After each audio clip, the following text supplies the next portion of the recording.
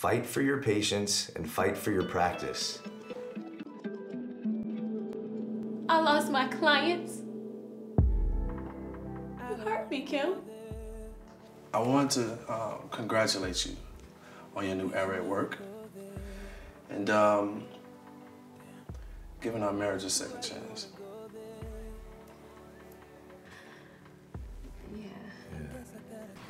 What the hell do you want? You know why I'm here. Now, where is she? What makes you think she wants to see you?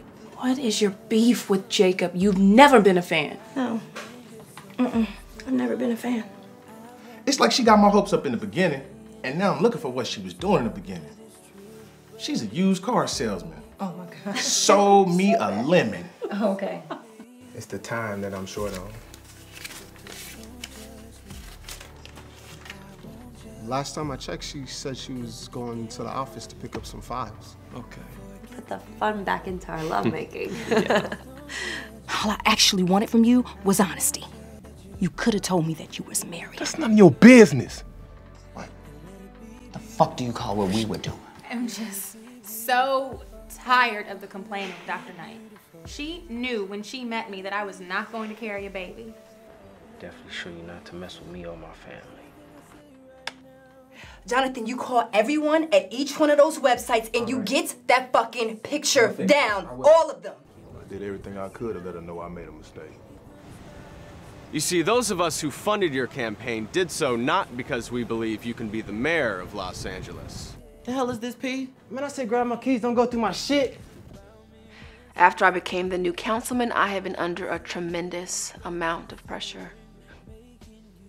And what pressures are those? I mean, I always knew you were gonna make it. I was just concerned how you were gonna handle the fame. Maybe that's why God brought us to this room today. So baby, so please don't judge me.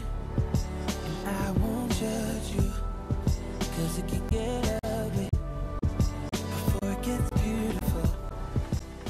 So, what you might want to do is see a therapist. I mean, I understand things get tough.